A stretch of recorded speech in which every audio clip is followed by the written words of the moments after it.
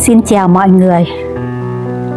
Đây là những à, bông hoa ở trong vườn nhà mình à, Chiều nay à, vợ chồng mình rảnh nên mình nói chồng mình à, lấy cái chiếc xe buggy là cái xe người ta hay dùng trong sân gôn đó các bạn. Chở đi vòng vòng trong cái à, thị trấn mà mình đang ở đó cho mọi người xem xem quang cảnh nó như thế nào nhé bởi vì có một số bạn á, nhắn tin cho mình là muốn được xem cái khu mình ở, nhìn nó ra làm sao. Thì à, cái khu mình ở là cái khu à, gọi là ngoại ô, chứ không phải là trong nội thành thành thị đâu. Cho nên là các bạn sẽ nhìn thấy nhiều cây cối và nó cũng ít người hơn nha các bạn. Bây giờ thì hai vợ chồng mình đi ra tới ngoài xa lộ rồi các bạn. Đấy, các bạn nhìn thấy cái con đường này là để cho dành cho xe xe ba bánh với xe Honda với lại xe đạp đi thôi các bạn nha. Thì các bạn thấy là hai bên đường đó là hai cái mảng xanh, đó là mảng thoát nước của của đô thị, của xa lộ đó các bạn. Thì các bạn thấy nó mảng cái cái khu mà thoát nước nó lớn như thế này này, thì khó mà bị ngập lụt như bên con, những một một số các con đường ở bên Việt Nam lắm các bạn. Ngoại trừ cái gì chống phải cái lũ lụt như là trận lũ lụt của Noe thì may ra nó mới ngập lụt được các bạn ạ cho nên là đường xá bên Mỹ cái hệ thống thoát nước của nó cũng rất là tốt.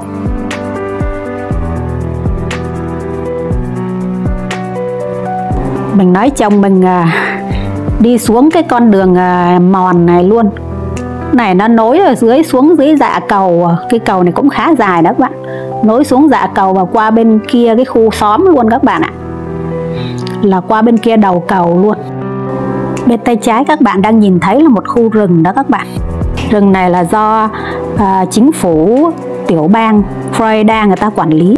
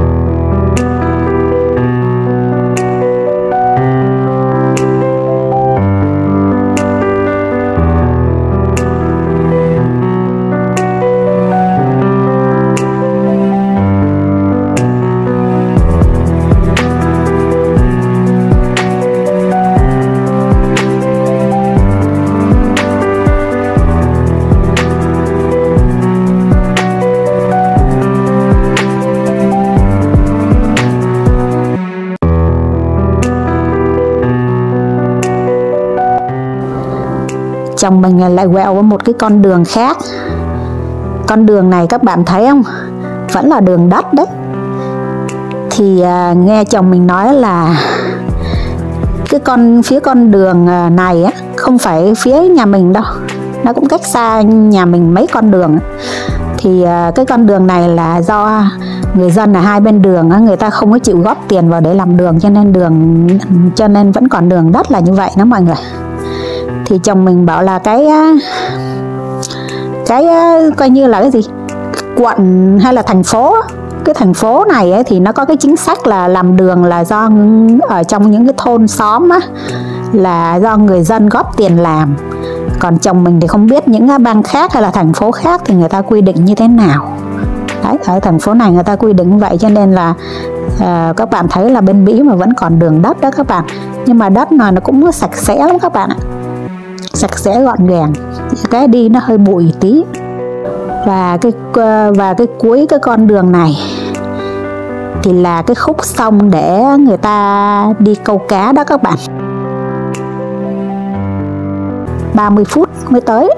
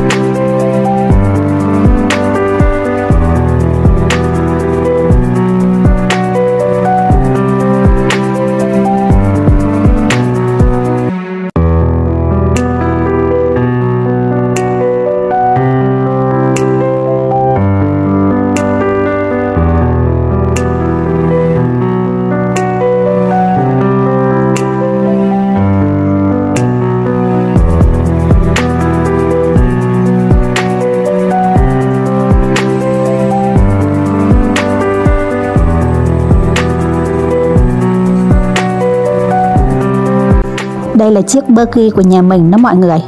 Khi nào mà gia đình mình mà cần đi uh, lanh quanh trong xóm đi gần thì lấy cái chiếc xe này đi cho nó tiện khỏi lấy xe hơi đi mất công. Đi chiếc xe này thì ngắm phố phường nó dễ hơn là đi ngồi trong xe hơi. Hai vợ chồng đang đi dạo thì lấy thấy con gái nó vừa xuống xe buýt nó đi học về đó. Cho nên là chồng mình gọi nó ngồi lên xe chở đi vòng vòng chơi luôn.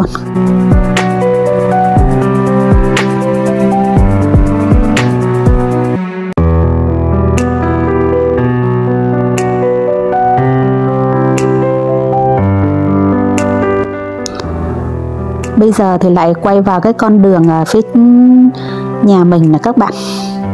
Đấy con đường ở bên nhà mình thì à, có trải nhựa. Cái khu này thì nó cũng sạch sẽ hơn với lại à, nó nó an toàn với yên tĩnh hơn. Khu này thì người ta khá giả hơn cái khu hồi nãy mình đi các bạn ạ. À, phong cách của người Mỹ người ta sống á, là những căn nhà người ta thích như thế này này tràn ngập thiên nhiên cây cối rồi người ta thích để cỏ như vậy là người ta chỉ có cắt cỏ hàng tuần thôi hoặc là hàng tháng thôi. Thì à, nhìn như vậy nhưng mà khu này á, thì à, đa số là những người mà cỡ tuổi vợ chồng mình hoặc là lớn hơn luôn đó các bạn. 8 90 tuổi cũng có nữa cho nên là kinh tế người ta ổn định lắm rồi. Và hầu như cái khu này á, chồng mình nói nhà ai á, hình như là người ta cũng là chủ của một hai miếng đất một hai căn nhà ở những khu ờ, xung quanh các thôn xóm gần đó luôn đó các bạn. Đấy. chứ ờ, nhà ở cái khu này thì không có ai mà nhà nghèo hết. Nó có nói chung là không phải là tỷ phú triệu phú nhưng mà cũng là kinh tế ổn định. Và khu này thì ờ, toàn là người Mỹ trắng không các bạn ạ?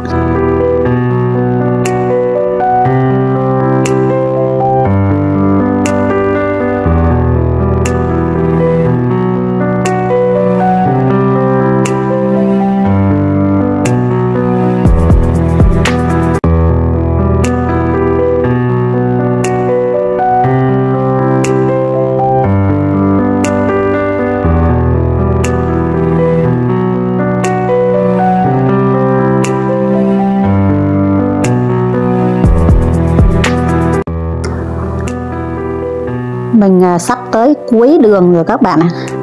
Đây là một cái con đường cụt à, phía sau nhà này là một dòng sông đó các bạn. Sông này nó nối à, ra tới nhà mình thì hết thì là nó ngưng. Mình à, xin dừng video tại đây nhé. Xin chào tạm biệt mọi người và hẹn gặp lại mọi người vào những video tiếp theo.